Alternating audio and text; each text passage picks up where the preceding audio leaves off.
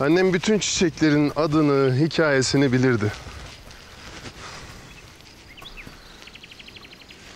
Çiçekler doğanın gelinidir derdi.